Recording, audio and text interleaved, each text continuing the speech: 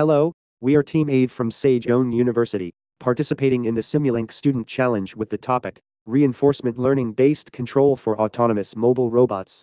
The presentation will proceed in the following order introduction, method, implementation, and conclusion. Our team is an academic club primarily focused on researching and developing autonomous driving technologies using MATLAB and Simulink. We decided to participate in this competition to propose a new approach using reinforcement learning, moving beyond the traditional methods based on sensor processing.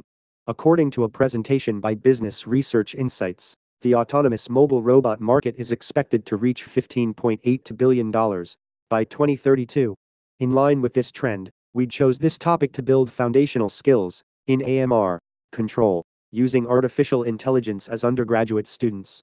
Among the three main approaches in machine learning, we decided to utilize reinforcement learning. Through the design of a reward function based on trial and error, Team Aid aims to develop a control model that is cost efficient by reducing sensor dependency and robust to various environmental conditions. Developing driving algorithms by directly processing sensor data involves high development complexity, resulting in low efficiency and a high dependency on sensor performance. In contrast, the reinforcement learning approach primarily focuses on designing the environment and reward function for training the agent. This approach offers higher real-time processing, efficiency, and comparatively lower dependency on sensor performance. Additionally, the estimated sensor costs for commercial AMRs are typically in the range of several thousand dollars. To address this, our team envisioned an AMR that significantly reduces sensor costs by utilizing only radar and ultrasonic sensors.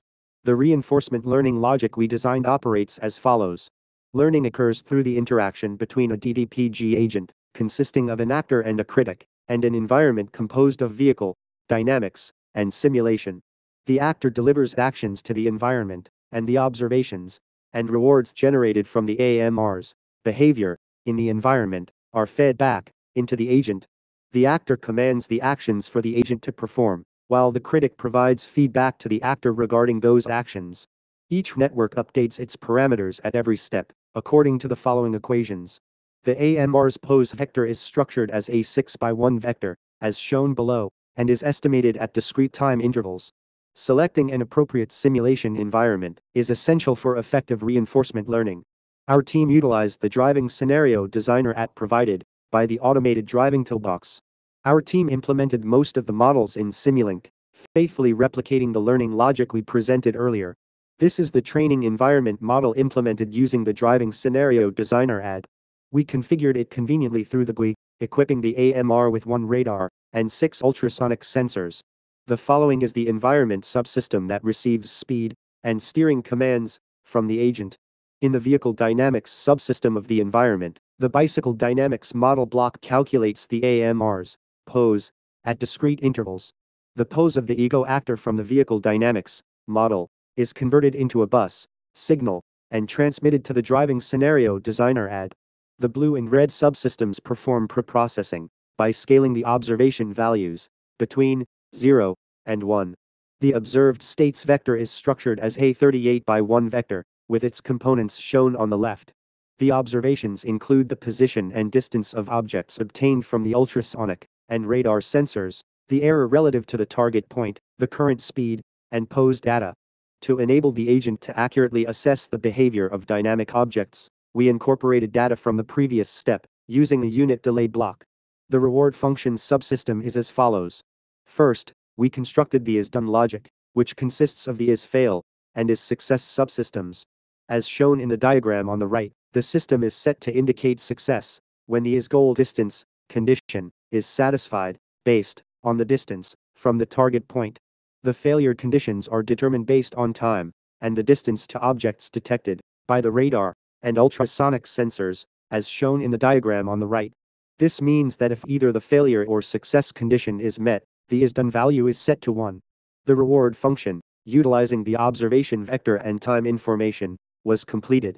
Finally, as shown in the diagram on the right, the final reward function was derived by reflecting the angle of objects relative to the AMR's center line.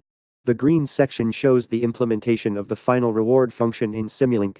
This is the configuration of the actor and critic networks for the DDPG agent, created using the Deep Network Designer app. This setup aligns with the reinforcement learning logic we outlined earlier. Observation, action, and environment options are configured using MATLAB. Finally, setting the options through the reinforcement learning designer app completes all the necessary preparations. The following shows the results of training the agent. The video on the left shows the driving performance of the first agent, while the one on the right shows the second agent.